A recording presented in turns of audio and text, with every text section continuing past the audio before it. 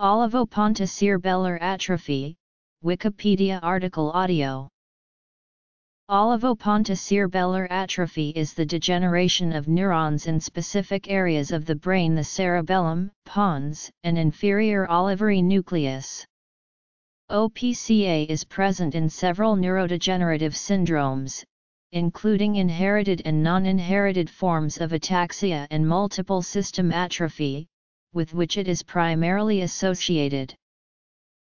Signs and symptoms Cause Diagnosis Treatment OPCA may also be found in the brains of individuals with prion disorders and inherited metabolic diseases. The characteristic areas of brain damage that indicate OPCA can be seen by imaging the brain using CT scans or MRI studies. The term was originally coined by Joseph Jules Dejerine and Andre Thomas. OPCA is characterized by progressive cerebellar ataxia, leading to clumsiness in body movements, veering from midline when walking, wide-based stance, and falls without signs of paralysis or weakness. Clinical presentation can vary greatly between patients, but mostly affects speech, balance, and walking. Other possible neurological problems include spasmodic dysphonia, hypertonia, hyperreflexia, rigidity, dysarthria, dysphagia, and neck dystonic posture.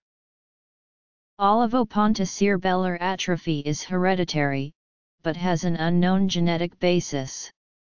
There are two forms. A few non-hereditary diseases formerly categorized as olivopontocerebellar atrophy have been reclassified as forms of multiple system atrophy as well as to four hereditary types, that have been currently reclassified as four different forms of spinocerebellar ataxia. Physiotherapy intervention aims to improve balance and gait of OPCA patients, by stimulating neuroplastic changes in the atrophied neural structure. A challenge-oriented treatment program has previously been shown to be beneficial for individuals with ataxia from OPCA.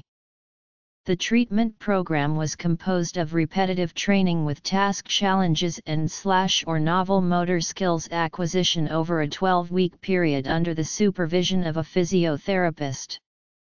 Task challenges were progressed only when the patient showed mastery of a task.